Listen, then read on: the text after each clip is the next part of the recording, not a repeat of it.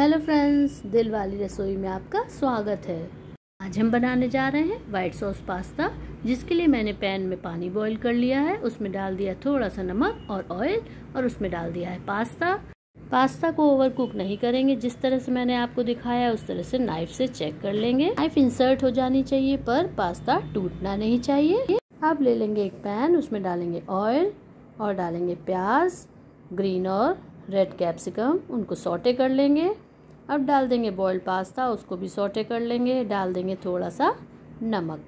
थोड़ी देर सोटे करेंगे, फिर ले लेंगे एक दूसरा पैन में डालेंगे लगभग डेढ़ टेबल स्पून बटर मैंने घर का बटर लिया, आप येलो बटर भी ले सकते हैं। और डालेंगे एक टेबल स्पून मैदा। उन दोनों को अच्छे से रोस्ट करेंगे।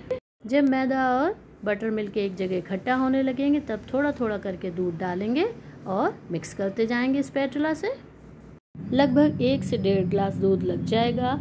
आप उसकी कंसिस्टेंसी को एडजस्ट करते जाएँगे और अच्छे से उसको लम फ्री बनाएँगे।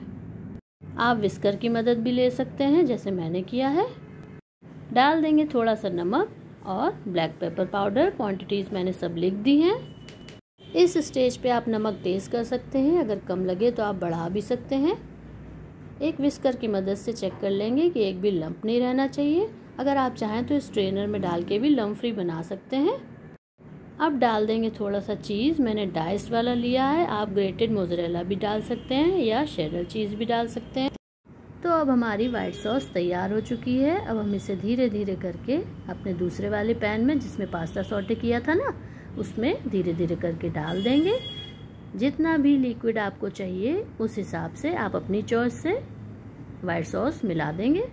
और अब डालेंगे एक सीक्रेट इंग्रेडिएंट ये है मस्टर्ड पाउडर पीली सरसों होती है, उसको थोड़ा सा पीस लेंगे और वो इसमें मिला देंगे और डाल देंगे काली मिर्च ऑरिगेनो और चिली फ्लेक्स तो तैयार है वाइट सॉस पास्ता अब इसको सर्व किसके साथ करेंगे? मैंने तो ली गार्लिक ब्रेड उसके मैंने काटे पीसेस और उसको वाइट बटर से सेक लिया। तो आप मुझे कमेंट करके बताइए कि आपको वाइट सॉस पास्ता किस चीज़ के साथ खाना पसंद है। अगर आपको वैसे ही खाना पसंद है तो भी आप मुझे बताइए। अदरवाइज़ आप किस चीज़ के साथ खाते हैं, वो भी मुझे बताइए। आप मुझे किस शहर से वॉच कर रहे हैं, ये भी मुझे कमेंट करके बता सकते हैं। आगे मैं क्या बनाऊँ, ये भी आप मुझे बता सकते हैं। वीडियो अच्छी लगी हो तो लाइक शेयर सब्सक्राइब कीजिए, अपने फ्रेंड्स को शेयर कीजिए और इन्जॉय कीजिए। Thank you for watching